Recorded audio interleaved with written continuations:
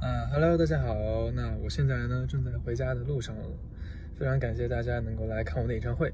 那么也希望大家能够平平安安的来，平平安安的回家。也希望大家能够早早的回家，毕竟现在也，北京也这么冷，对吧？大家要注意一下保暖，不要感冒了，早点回家哦，谢谢。